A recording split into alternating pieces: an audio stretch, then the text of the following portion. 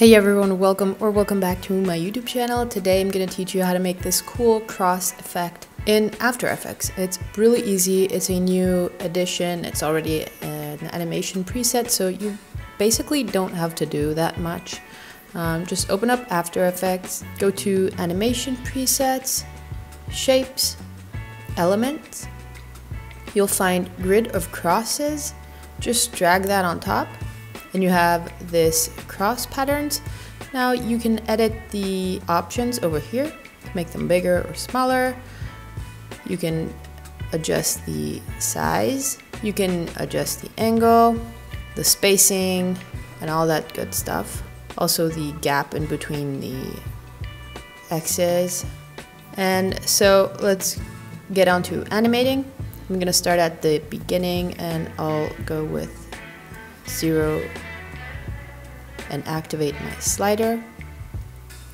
I'll go with zero thickness as well and activate that too. And I'll animate the angle as well because I want them to spin around. And then I'll go to about halfway through my uh, composition, which I made of four seconds. Um, and I'm going to adjust the size and the thickness to something like this probably. And then I'll go all the way to the end of my composition. I'll reset it to zero. And I'll change this first number to one because I want it to go one full circle around. And that's basically it. Let's look at how it's looking.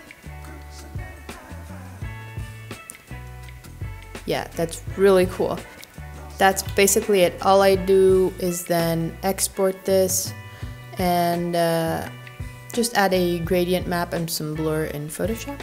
And uh, yeah, that's all it takes. Anyways, thank you so much for watching. Feel free to subscribe. Also, check out the links in my bio. Those are to my gradient map packs and my texture packs. I've just released a really cool plastic texture pack. So definitely go check those out. And uh, yeah, thank you so much for watching. I'll see you soon. Bye.